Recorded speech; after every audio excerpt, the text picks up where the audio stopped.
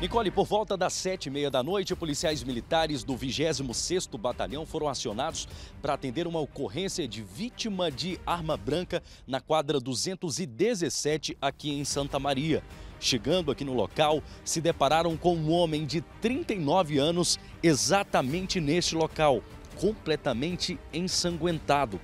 Segundo informações de populares, por volta das 19 horas, este homem, de 39 anos de idade, ele teria chegado aqui na quadra 217 depois de um dia de um expediente de trabalho. Ele trabalha em uma marmoraria no Gama e ao chegar aqui exatamente nessa rua foi surpreendido por um Ford Car de cor azul. Dentro do carro saiu um homem com um facão em mãos e desferiu vários golpes contra a vítima.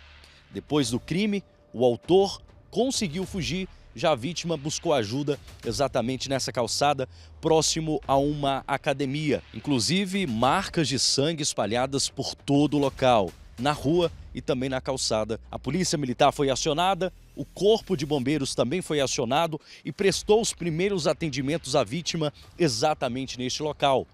Posteriormente, ele foi levado para o Hospital Regional do Gama.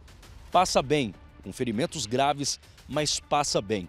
Nós conversamos com a esposa da vítima. Não quis gravar entrevista com a nossa equipe, mas contou que desconfia que a autoria do crime seja uma vingança, uma vingança de vizinhos, que há algum tempo já tinha uma treta rolando entre eles.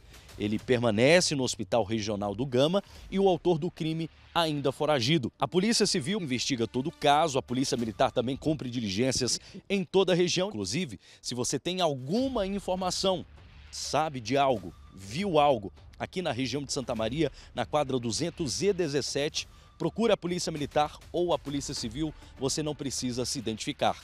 DF Alerta te serve o melhor em qualquer BO.